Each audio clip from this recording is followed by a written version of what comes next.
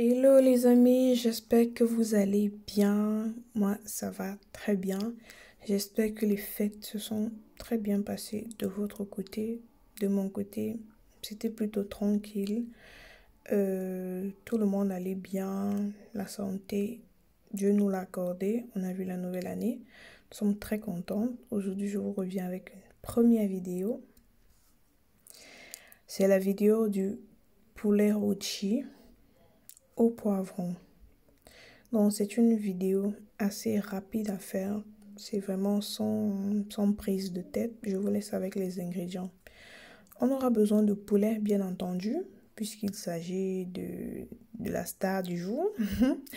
On aura besoin euh, de l'ail, du gingembre, du poireau.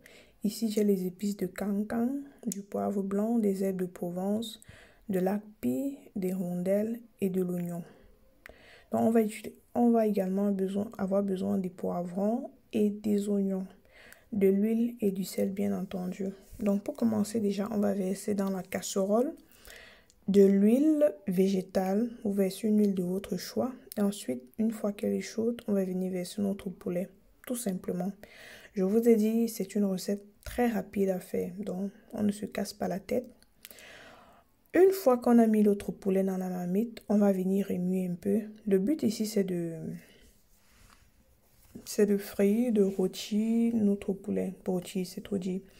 C'est de qu'il devienne doré en fait. Voilà, de dorer notre poulet, j'ai trouvé le mot juste. Donc on va remuer comme ça de temps en temps et laisser cuire, laisser dorer.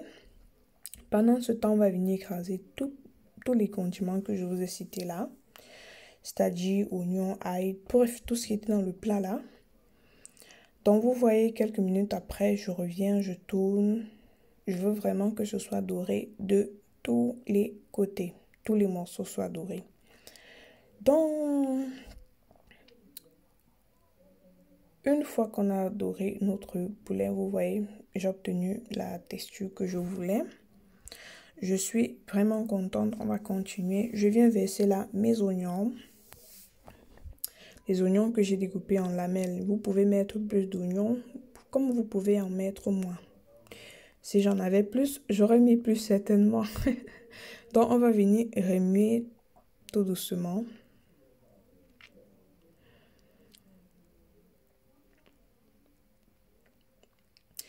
Et on a écrasé entre-temps nos condiments là, donc tout ce que vous avez, je vous ai cité au début là on a écrasé, on va venir également verser dans notre marmite.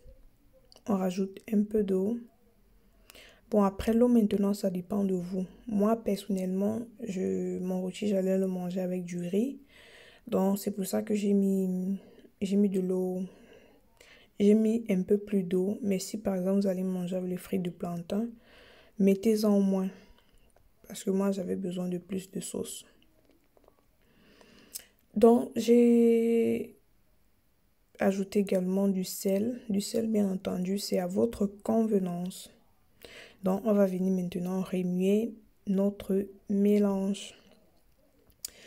Les amis, euh, si vous aimez la vidéo, si vous aimez ce que je fais, si vous appréciez, n'hésitez pas à me laisser un pouce en l'air. Dites-moi également en commentaire si vous connaissez la recette. C'est une recette un peu vide de frigo chez moi. Et très souvent, quand je la fais, les enfants aiment bien. Donc, je le fais assez souvent. Donc, je viens verser maintenant mes poivrons. Bien entendu, si vous avez des poivrons d'autres couleurs, vous pouvez en mettre. Et je viens remuer quelques minutes. Après avoir remis, je vais venir fermer ma casserole et je vais laisser cuire environ une dizaine de minutes. Voilà. Et voilà le résultat quelques minutes après.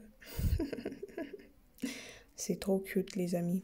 Comme je vous disais les amis, euh, si tu n'es pas encore abonné à la chaîne, vraiment n'hésite pas à t'abonner parce que euh, je vous prépare du contenu de très bonne qualité cette année. Peut-être il ne sera pas aussi récurrent que les années précédentes parce que j'ai d'autres occupations.